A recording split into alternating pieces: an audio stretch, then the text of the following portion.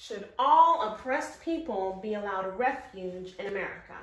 Amber will take counter position. Cher will be pro. Cher, two minutes. So, okay, like right now, the Haitians need to come to America. But some people are all, what about the strain on our resources?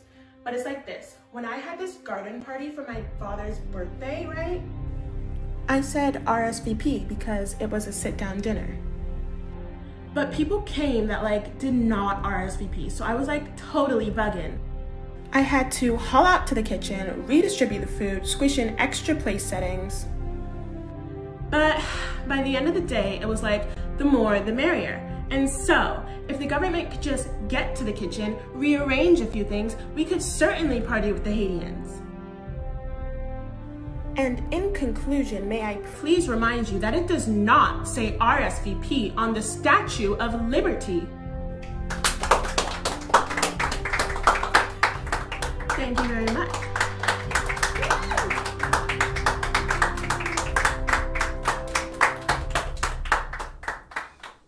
Uh, Amber, a reply.